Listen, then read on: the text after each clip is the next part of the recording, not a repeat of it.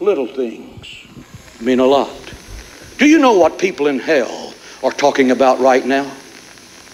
Do you know what people in hell are talking about right now? Look at them. Look at this city of suffering, screaming, tortured souls.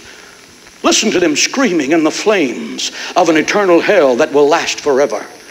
Listen at them as they gnaw their tongues and as they carry on their tormented conversations. One says to another, I could have been saved if I'd only prayed one prayer of confession and repentance. One prayer. One prayer. One prayer.